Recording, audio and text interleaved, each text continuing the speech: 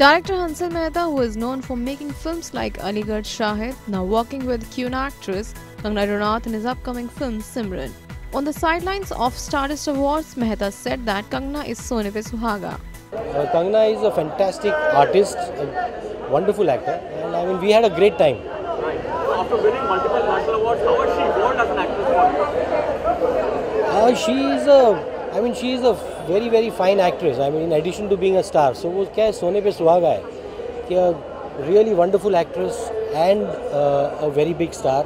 And I mean she is uh, truly a collaborator. She collaborates uh, really really closely on the film.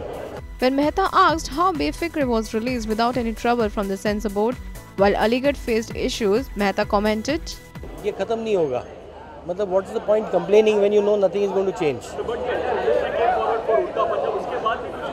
That's what I'm saying. What is the point complaining when nothing is going to change? I think we have to find our way through this. But when got passed without any touch? No, no, not, Why should you be surprised? I mean, now I, I, it's become a joke now. Simran, which has recently completed its US schedule, will release on September 15, 2017.